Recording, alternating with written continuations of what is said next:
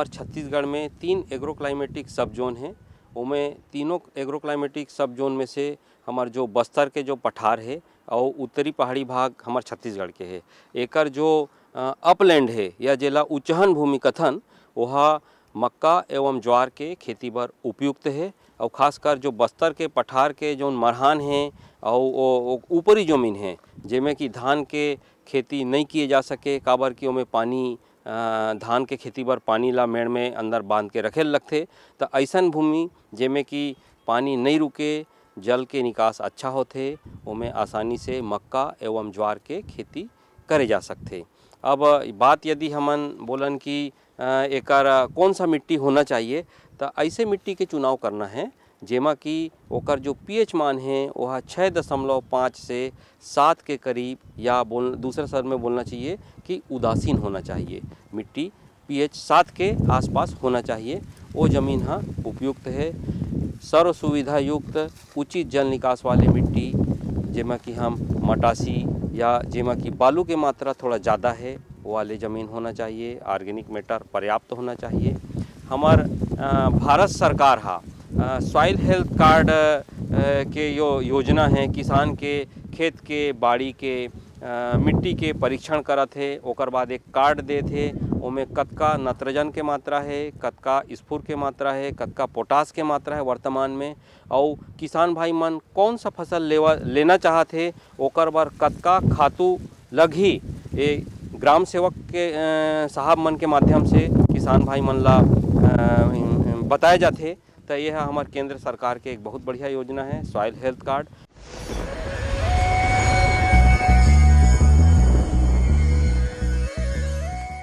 आज तो वसूली करके ही जाऊँगा। घनश्याम?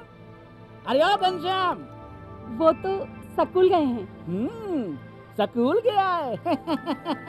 अरे बहाना तो ढंग का बनाती। हाँ लाला मैं स्कूल ही गया था। Farm school. जहाँ किसानों को सिखाई जाती है खेतों में पैदावार बढ़ाने की हर बात। जैसे मिट्टी के हिसाब से सही खाद बढ़िया बीज और ज़रूरत के मुताबिक कीटनाशक। ताकि कम लागत में अधिक मुनाफा। ये पकड़ लाला। तेरा हिसाब साफ़।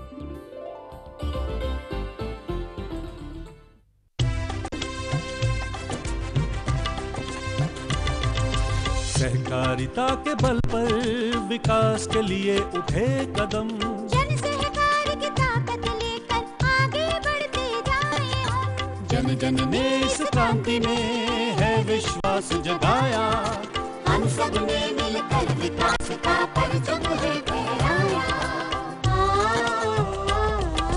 दूर जहाँ सूरज उगता उस धरती से मैदानों तक हिम शिखरों के श्वेत बर्फ़ से हिंद महासागर तक। श्वेत क्रांति हो हरित क्रांति या ग्राम विकास की बात। एकता ही धर्म हो अब चाहे दिन हो या रात। कृषि मंत्रालय भारत सरकार द्वारा जनहित में जारी।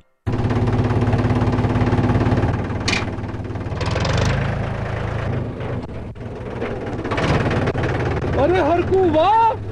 बीज कीटनाशक और आज खाद भी। अरे इतना खर्चा कहाँ से? अरे खर्च की चिंता किसे है? मेरे पास है ये किसान क्रेडिट कार्ड। कार्ड? अरे बैंकों द्वारा जारी इस कार्ड से किसान उसकी सीमा तक की रकम कभी भी बैंक से निकलवा सकता है और खेती बाड़ी की सामग्री कभी भी खरीद सकता है। तो हर को भैया एक कार्ड मेरे लिए भी। किसान क्रेडिट कार्ड के लिए नजदीकी बैंक से संपर्क करें और पाएँ ढेर सारे लाभ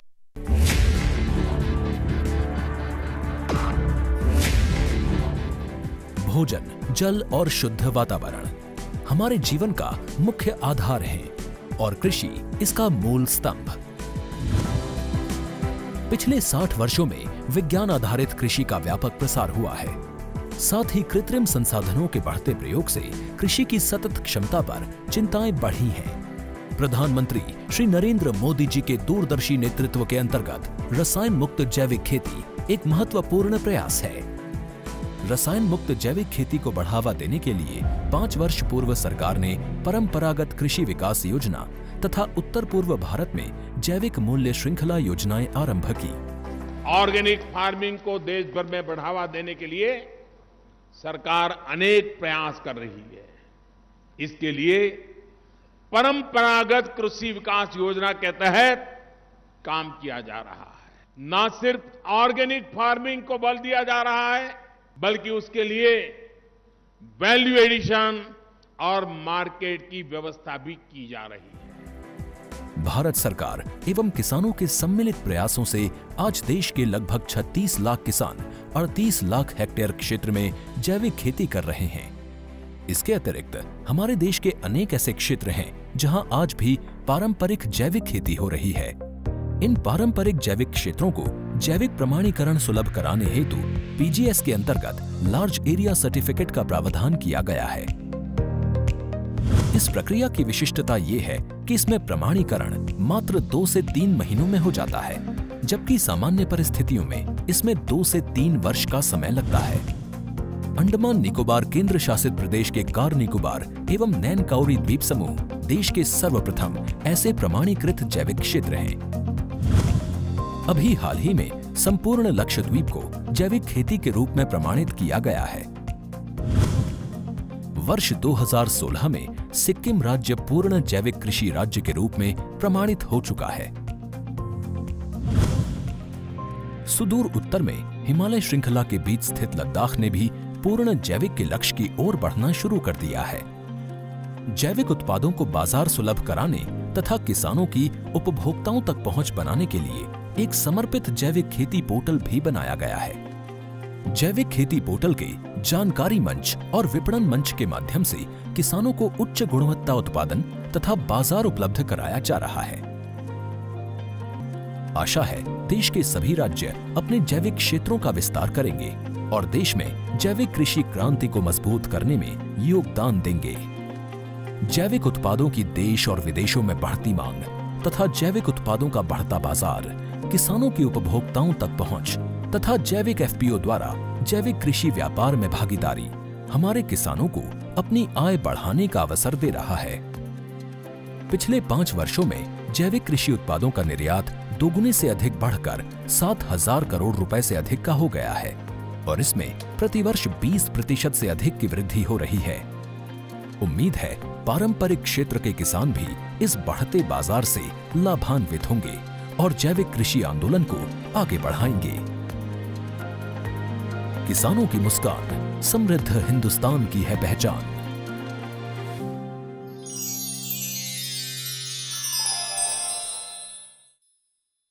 चालू हो रहा है।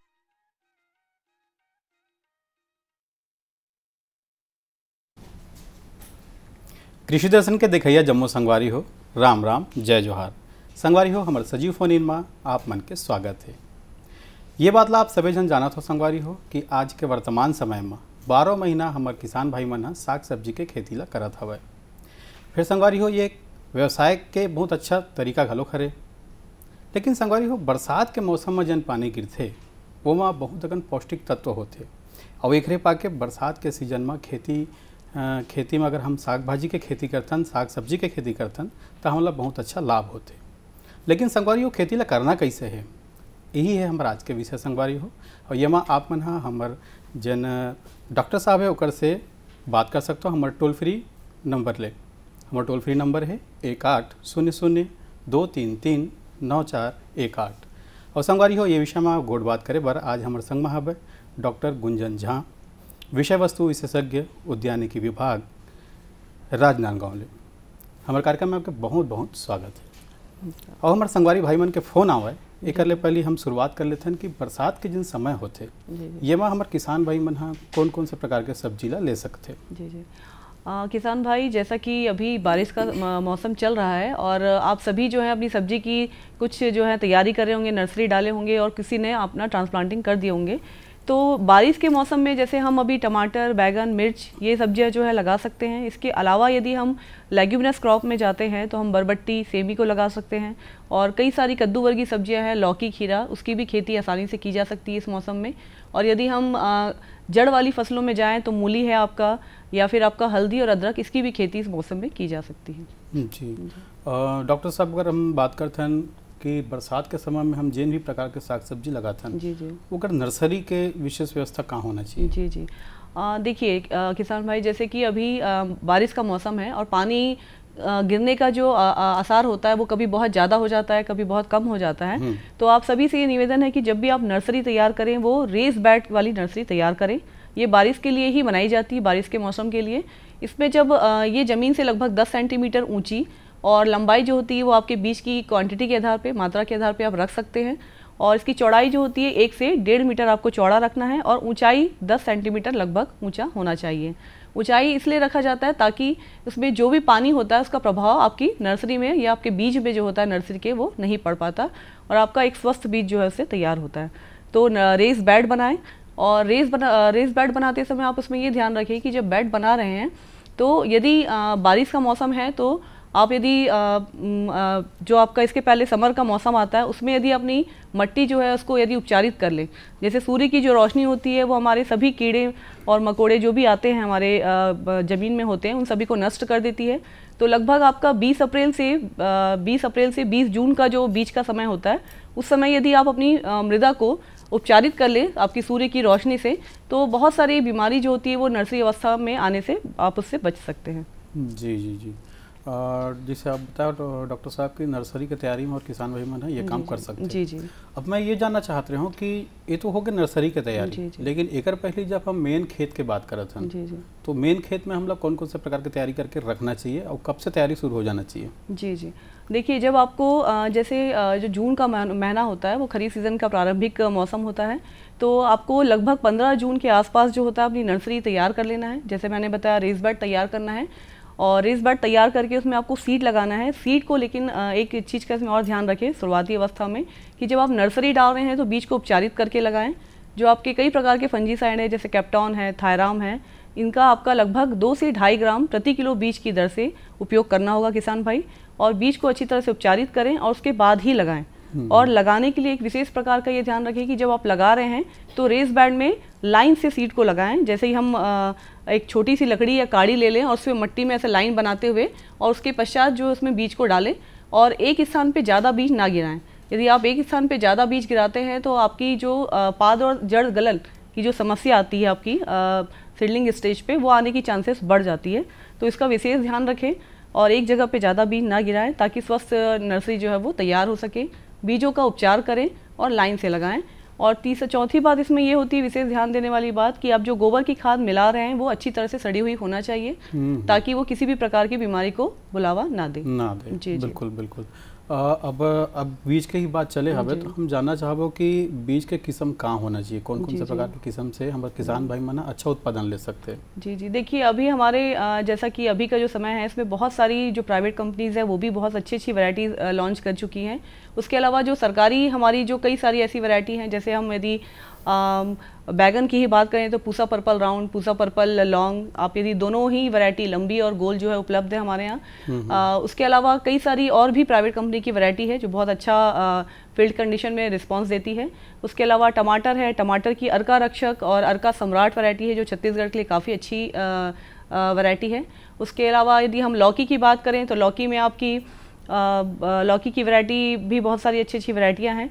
और यदि खीरा जो है खीरा भी इस सीज़न में लगाया जा सकता है। खीरे की कुमूद वैरायटी है आपकी जो बहुत अच्छी है। पूसा संयोग वैरायटी है जिसको हम लगा सकते हैं। उसी तरह से यदि हम बरबट्टी में जाएँ तो काशी कंचन जो है वो उज्ज्वला ये सभी वैरायटी बहुत अच्छी है जिसको आप अपने खेतों में अभी बारिश के मौसम में आसानी से लगा सकते हैं। और बरबट्टी में उसके अलावा भिंडी है। भिंडी यदि आप इस सीज़न में लगाने जा रहे हैं तो पूसा हाइब्रिड पाँच है जो जिसका रिस्पॉन्स बहुत अच्छा है। तो इस प्रकार से और अगेती गोभी ये भी बहुत ही ज़्यादा फ़ायदा देने वाली फ़सल है सब्जियों की खेती में। तो अगेती गोभी यदि आप लगाने जा रहे हैं तो आपकी सिंजेंटा की पंद्रह बाईस है या फिर आपकी और भी बहुत सारी कंपनी की बरखा बहार गिरजा ये सभी वैरायटी हैं जो बहुत अच्छा रिस्पांस देती हैं और अगेती अर्ली वैरायटी है ये। जी जी तो इस प्रकार से आप चुनाव कर सकते हैं किस्मों का। जी। डॉक्टर साहब एक और बात देखे में आते कि जब किसान भाई है अपन सारा चीज़ की तैयारी कर लेते हैं जी जी। तो ओला बहुत सारा ज़्यादा नुकसान खरपतवार भी पहुंचाते हैं। जी जी। ये खरपतवार से हमारे किसान भाई है कैसन ढंग के निपट सकते जी जी। का का एक तरीका होना चाहिए। आ, किसान भाई देखिए जैसे कि अभी आ, बताया कि खरपतवार प्रबंधन। अभी बारिश के मौसम में सबसे ज़्यादा समस्या आती है खरपतवार की। और खरपतवार जब ज़्यादा आता है तो उससे कीटे कीट और बीमारी की भी समस्या बढ़ने लगती है। तो आपको इसका विशेष ध्यान रखना है। डॉक्टर साहब एक फ़ोन आवा थे। जी जी। Hello. Hello. Hello. Hello. Hello. Hello. लगातार संपर्क टूट हाँ गया नमस्ते डॉक्टर साहब। जी। आप तो जैसे अभी हमारी बात चल रही थी खरपतवार प्रबंधन की तो किसान भाई जैसे हमारी जो सब्ज़ी का एक समूह है जैसे कद्दू वर्गीय सब्ज़ी की बात आती है तो कद्दू वर्गीय यदि सब्ज़ी हम लगा रहे हैं तो जैसे हम सभी जानते हैं कि कद्दू वर्गीय सब्ज़ी बीज के द्वारा लगाई जाती है तो इसको आप लगाने के लगा रहे हैं उसके जस्ट आपका लगाने के जो बीज आपने सोइंग करी हुई है हम्म। उसके 24 घंटे के अंदर आपको खरपतवार नासी जो पेंडा पेंडामेथिलीन होता है उसका आपको लगभग लगभग एक लीटर जो है पर हेक्टेयर की दर से इसका उपयोग करना होगा। तो इस प्रकार से आप अपने यदि आप इसको शुरुआती अवस्था में कर लेते हैं बीज लगाने के जस्ट 24 घंटे के अंदर तो आप मान के चले कि जो शुरुआत में आपको जो हमारे बीज का जर्मिनेशन होता है तो उस समय बीज से जो उसका सामना करना पड़ता है बीज को, जो छोटे पौधे होते हैं, उससे वो बच जाते हैं और एक स्वस्थ पौधे जो है आपको मिलते हैं। और खरपतवार का भी इसमें बिल्कुल भी कुछ लंबे समय तक 30 से 35 दिनों तक इसमें असर नहीं दिखाई देता है। तो इस प्रकार से कद्दू वर्गी सब्ज़ियाँ यदि आप लगा रहे हैं तो उसमें आप ब्यूटाक्लोर अ, जो एक आपका खरपतवार नाशी है उसका उपयोग कर सकते हैं। लगभग दो किलोग्राम प्रति हेक्टेयर की दर से करना होगा। और यदि लेग्यूमिनस क्रॉप लगा रहे हैं भिंडी लगा रहे हैं या फिर आप उसमें गोभी वर्गी सब्ज़ी लगाने जा रहे हैं तो इसमें आप यदि लगा रहे हैं तो इसमें आप पेंडामेथलिन या जो मार्केट में स्टाम्प के नाम से भी आता है तो इसका लगभग जी। 3.3 अ, लीटर पर हेक्टेयर की दर से। हेलो। हेलो। हाँ किसान भाई। हाँ। हेलो। हेलो। हेलो हाँ मैं सत्यवान बंधु बोला था सर। हाँ मैं हेलो। सत्यवान बंधु बोला था सर। हेलो। हाँ मैं टमाटर और गोभी हेलो। सर। हेलो। लगातार संपर्क कट गया हमारे। हम आगे बढ़ते हैं। जी जी। तो मैंने जैसे बताया आपको कि सब्जियों में हमारी दो सब्ज़ियाँ होती हैं एक जो नर्सरी की ट्रांसप्लांटिंग करके हम लगाते हैं और एक होता है जो बीज से सीधे लगाते हैं। तो जो सब्ज़ियाँ बीज से सीधे लगाई जा रही हैं तो उनमें आप पेंडा पेंडामेथलिन का जो डालेंगे तो उसको लगभग आपको 24 घंटे के अंदर डाल देना है लेकिन भूमि में नमी होना चाहिए इसका विशेष ध्यान रखें किसान भाई। और जो अपन रोपा से लगा रहे हैं सब्जियों को जैसे आपकी गोभी हो गई या प्याज हम्म। हो गया टमाटर बैगन तो इनको लगा रहे हैं तो इनमें रोपा लगाने के पहले एक दिन पहले आपको पेंडा पेंडामेथलिन जो है उसको आपको आपके इसमें स्प्रे कर लेना है ज़मीन में ताकि आपको खरपतवार से आप बच बचा जा सके आपके। लगभग 30 से 35 दिनों तक इसका असर होता है हम्म। और ये पौधों को अच्छा रखता है और खरपतवारों से दूर रखता है। दूर रखता जी। है। जी ये तो बहुत अच्छा उपाय आप मत बताया हो। अब ये तो हो गए बात खरपतवार के। जी, जी। अब अगर हमारे किसान भाई मन हा बरसात के समय में साग भाजी के साग सब्ज़ी के। पैदावार करत है अधिक से अधिक उत्पादन लेना है हमारे तो एक पर का का उदिम करे लगी। जी जी। देखिए, बहुत अच्छा सवाल है ये। जैसे कि अभी हम देख रहे हैं कि हमारे बारिश में हम जब, जैसे कुछ किसान भाई अभी भिंडी बहुत ज़्यादा लगाते हैं तो जैसे हम भिंडी लगा रहे हैं तो हम देखें कि उसमें जितनी ज़्यादा शाखाएँ निकलती हैं, ब्रांचिंग होगी, शाखाएँ निकलेंगी, उतना ज़्यादा उत्पादन होता है, बढ़ता है। तो इसके लिए हमारा एक हारमोन्स होता है साइकोसील करके जिसको। आप जी साइकोसील एक एम प्रति लीटर का घोल बनाना है आपको और इसका उपयोग हम अ, लगाने जैसे बीज आप जब लगाने जा रहे हैं तो उसको लगभग 24 घंटे के लिए इस प्रकार के अ, घोल में बना के आपको भिगाना है हम्म। और 24 घंटे बाद उसकी सोइंग करना है जी और भिंडी को लगाने के 20 दिन बाद फिर से इसी सॉल्यूशन का स्प्रे करना है और फिर एक बार 40 दिन बाद यदि इस प्रकार से आप भिंडी में तीन बार इसका उपयोग करते हैं तो आप इसमें बहुत ज़्यादा शाखाएँ फूटती हैं और आपका भिंडी का उत्पादन बहुत बढ़ जाता है। हम्म, तो एक ये उपाय आप भिंडी के लिए कर सकते हैं। दूसरा यदि हम आते हैं कद्दू वर्गीय सब्जियों की बात करें जो इस मौसम में लगाई जाती हैं तो कद्दू वर्गीय सब्ज़ी में हमारा हार्मोन्स होता है इथरेल। जो इथरेल हार्मोन्स है यदि हम उसका वन एम एल सौ पीपीएम लगभग जो होता है उसका उपयोग करें और इसका उपयोग आपको कब करना होगा? तो दो पत्ती अवस्था बोला जाता है। जब आपकी दो पत्तियाँ फूटती हैं हम्म, उसके बाद चार पत्ती अवस्था में फिर एक बार फूल आने के जस्ट उस समय आपका जब फूल आने वाला है तो इस प्रकार से तीन बार यदि आप इसका स्प्रे करें आपकी इथरेल हार्मोन्स का कद्दू वर्गीय सब्जियों में तो इसका बहुत ही अच्छा रिज़ल्ट आता है। फ्लावरिंग जो होती है वो बहुत बढ़ जाती है। फीमेल फ्लावर जो मादा फ्लावर होते हैं वो फूल जो होते हैं वो बढ़ जाते हैं उनकी संख्या। तो इस प्रकार से आप इसमें कद्दू वर्गीय सब्जियों में इसका उपयोग कर सकते हैं। हम्म, हम्म। और इसी प्रकार से कद्दू वर्गीय सब्जियों में आपका यदि खीरा है तो उसके लिए। नैफ्थलिक एसिटिक एसिड भी एक हार्मोन्स होता है जिसका उपयोग किया जा डॉक्टर सकता से एक फ़ोन आवा थी जी जी। हेलो। हेलो। हाँ किसान भाई। हाँ राम राम भैया। हाँ नमस्कार राम राम भैया। डॉक्टर साहिबा घर राम राम जात है जी जी नमस्कार। बिल्कुल बिल्कुल। का नाम है भैया? कौन गाँव ले बोला था? हाँ मैं भगत राम पटेल बोला था बिलासपुर छत्तीसगढ़ जी जी जी। आप मन अपन प्रश्न पूछो भैया। हाँ मैं आज ये जानना चाहता हूँ कि जैसे हमको भाटा मिर्च टमाटर लगाना है जी। तो अभी कब हमको थरा डालना चाहिए जेकर से हम जे नो तीनों फ़सल है ओकर अच्छा पैदावार ले सकिन और उन्नत किस्म का है तेकर बारे में जानना चाहते हैं। जी जी। जी बिल्कुल। जी तो किसान भाई जैसा अभी मैंने बताया आपको कि इसकी जो नर्सरी होती है जैसे आप बैगन टमाटर और मिर्ची की बात कर रहे हैं तो ये साल भर लगाने वाली फ़सल है। इसको आप पूरे ही सीज़न में लगा सकते हैं चाहे वो बारिश हो या ठंड हो या आपकी गर्मी का मौसम हो। तो आप इसकी नर्सरी जैसे आप अभी खरीफ के सीज़न में डालना चाह रहे हैं तो 15 जून से 15 जुलाई तक का जो मौसम होता है वो आपका बहुत अच्छा माना जाता है नर्सरी डालने के लिए। और अभी भी आप अभी ये जो जुलाई का मौसम चल रहा है इसमें आप डाल सकते हैं नर्सरी और अभी आप इसकी खेती आप, आप कर सकते हैं इस सीज़न में भी। तो नर्सरी डालें और अच्छी किस्म की यदि आप बात चल रही है तो टमाटर में जैसे कि अभी बहुत अच्छी अच्छी किस्में आई हुई हैं जो अभी जैसे मैंने बताया अर्का रक्षक है अर्का सम्राट है यदि आप गवर्नमेंट सेक्टर की वैरायटी में जाना चाहते हैं तो और यदि आप प्राइवेट सेक्टर में जाना चाहते हैं तो करिश्मा है आपकी वैरायटी है और उसके अलावा सोनाली करके वैरायटी हैं जो बहुत अच्छा रिस्पांस दे रही हैं इन सभी वैरायटी में आप जा सकते हैं। जी।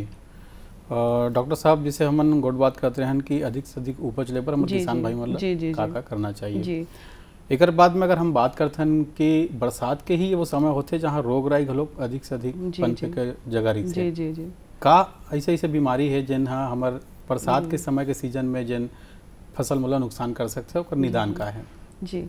देखिए जैसे अभी मैंने आपको आपने पूछा कि रोग और बीमारी और कीट जो है ये समय बहुत ज़्यादा आते हैं। तो बीमारी जैसे हम देखें तो कद्दू वर्गी सब्ज़ी में यदि बात करें तो उसमें सबसे ज़्यादा अभी आपका पाउडरी मिल्ड्यू जो आपका चूर्णी हम्म, चूर्ण वाला जो एक होता है जो पत्तियों में ऐसे सफ़ेद पाउडर के समान संरचना दिखाई हम्म, देने लगती है। ये बीमारी और एक होता है डाउनी मिल्ड्यू जिसमें रुई की समान संरचना जो होती है पत्तियों के हम्म। नीचे दिखाई देने लगती है। तो ये दोनों ही बीमारी बहुत ज़्यादा देखने को मिलती है यदि आप कद्दू वर्गी सब्ज़ी लगा रहे हैं तो।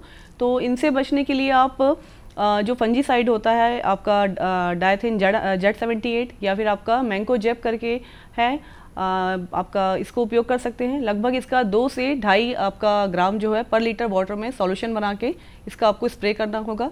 तो इस बीमारी से बच सकते हैं। उसके अलावा यदि आपको पाउडर मिल्ड्यू है तो इसमें आप सल्फ़र का पाउडर जो है उसका भी स्प्रे कर सकते हैं।